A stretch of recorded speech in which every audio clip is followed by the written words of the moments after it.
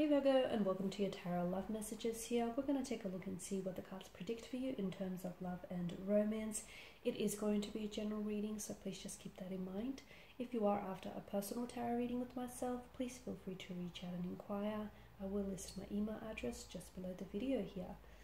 So the reading here is intended for Virgo Ascendant, Sun, Moon, Venus, Rising, and those of you that are cross-watching as well.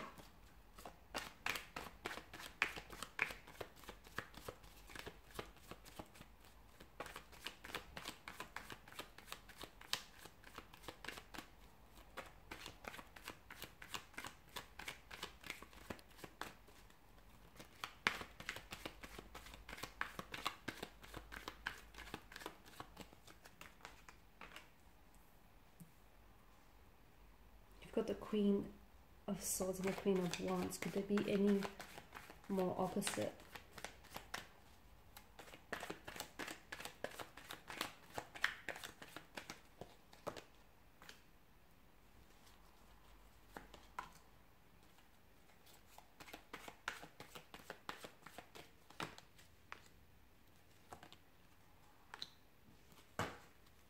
Okay, you've got three queens and a king here in your reading.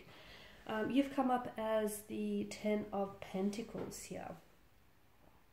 Some of you, I feel like, are maybe moving a romantic connection, or you're moving a connection for that matter from like friends, okay, or even like a friends with benefit to um, a romantic connection or to even a relationship. So I feel like there's that transitioning from, you know, um, talking to someone constantly, um, being around someone, even if it, it, may have been like a casual type of arrangement, it may have been like a buddy situation, you know, um, you might have friend zoned this person, but I feel like things are turning romantic, okay? I feel like um, you're definitely turning up the heat here. You could also be move, like moving forward the status of the relationship. So if you were seeing this person casually, you might now make it official. You might, um, you know, be exclusive to one another. You might be willing to put a title or a label to this connection here. So I definitely feel definitely feel like there's a progression here. I feel like with the Ten of Pentacles, this is someone whom you're wanting to, you're very invested, okay? You're very invested in getting to know this person, building a connection, even if it is going to take a time. Okay, I don't feel like you're in a rush. I feel like maybe this has been a bit of a slow moving or a bit of a slow burn connection, but I feel like it has the underlyings of being something stable, being something long term, being something consistent here. It's about something paying off here in the future. Okay, so it points to to me it points to just how important this person is in your life right now or just how important that they may become in your future here.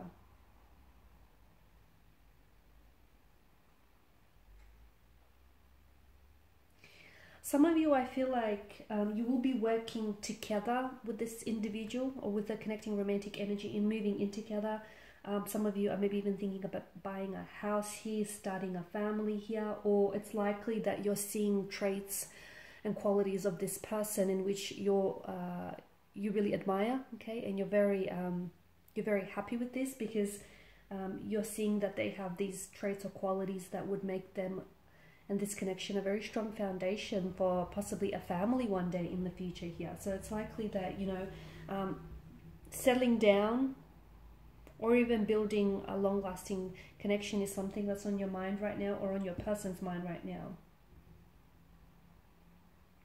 I feel like there's going to be, if you are merging, uh, you know, if you are merging a connection into a connection with someone, I feel like there's going to be um, a very harmonious relationship between your families. Okay, so if you're worried about them meeting, having to meet your pa- your family, sorry, or your like closest friends or relatives here, I feel like there's such a harmonious energy with the Ten of Pentacles. So don't worry, don't put that added stress or pressure on yourself because everything will go fine. They'll make quite a good impression. Now, Five of Cups is a situation that hasn't necessarily turned out your way here. Okay, it, it can it's a card of it is pessimism, it's like regret, it's emotional disappointment here. Um, the Three of Cups here have been knocked over, which is symbolic of the failures or disappointments. I don't know if it's your energy or your person's energy here. I don't know if you guys have had a lot of setbacks and challenges in this connection here. Um, or if you're in a position where you kind of need to forgive someone did or, or something someone did or said here.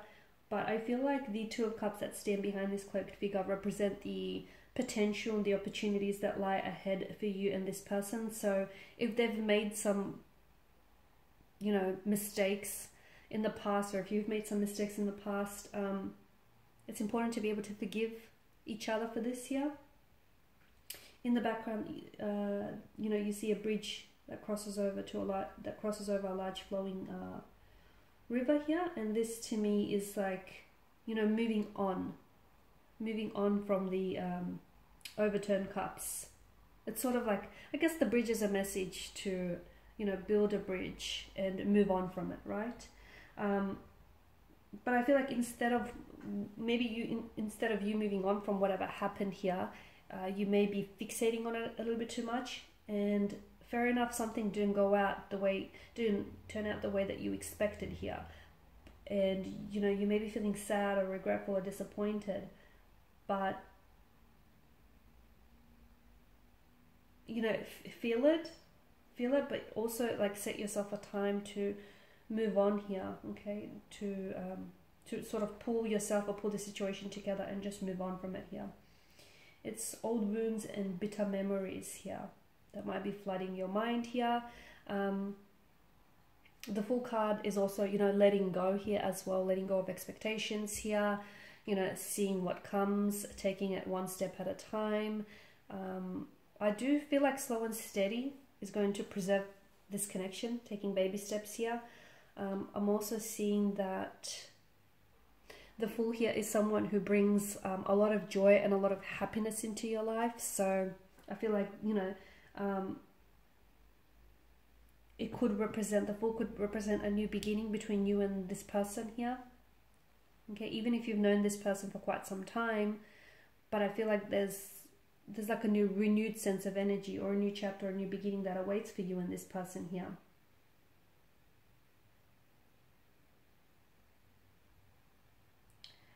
I feel like there's some sort of leap of faith or some sort of opportunity that you're going to have to jump at, especially when it comes forward to you, when it comes to you and this uh, romantic energy here. Because the Fool is really excited on starting his expedition, right? Um, the Fool is a card of beginnings, potential, opportunities here, um, and some of you even though you don't you may not know exactly where you're going here if if if it calls you i feel like if it calls you if, you know if it speaks to you um, just be able to take your first step here. Follow your heart no matter how crazy this leap of faith may be when it comes to pers- to this person and to this relationship here. Now is a time when you need to trust yourself trust what's best for you trust in the universe here. Um, even if you don't feel like you're 100% ready, even if you don't feel like you're 100% ready to, you know, move this relationship to the next stage or, um, you know, elevate this relationship to another status. Um, some of you, I feel like you may be waiting, okay? And if you wait too long for a situation, you start mapping everything out here, but that could also lead to hesitation. So even if you don't feel like you're 100% ready, but so as long as you feel somewhat ready, I feel like take that leap of faith here, okay? Because um, I feel like that's the, the energy of the Fool, and that's what he's inviting you to do. If you've been waiting or watching for a sign, maybe this is it. Maybe this is your sign. Maybe this is the nudge that you need to get you, you know, over that, to get you flying over that uh, edge of precipice. Because I feel like there's, when it comes to relationships and your growth as an individual right now, I feel like this is um, a great time of potential and a great time of opportunity for you here.